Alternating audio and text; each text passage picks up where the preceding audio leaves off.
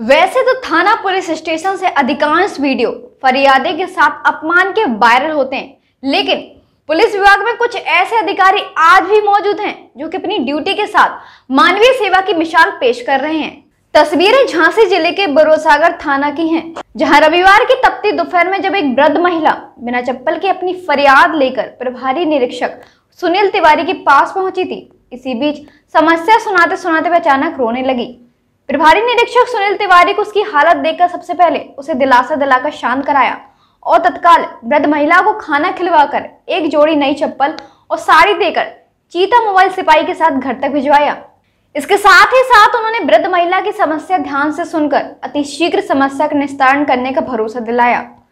बुरोसागर police के मानवीय सेवा कार्य से जहाँ महिला इतनी भावुक हो गई कि उसकी आँखों में आँसू भर आए वहीं पुलिस अधिकारी के इस कार्य से लोग उनकी सराहना भी कर रहे हैं। बरोसागर से आनंद मोदी की report. PK university, build a great career at PK university. Admission open for medical science B pharma M pharma B S C B tech M tech and polytechnic diploma contact now W W W dot PK university dot ed dot in address थाना village Jhansi road Shivpuri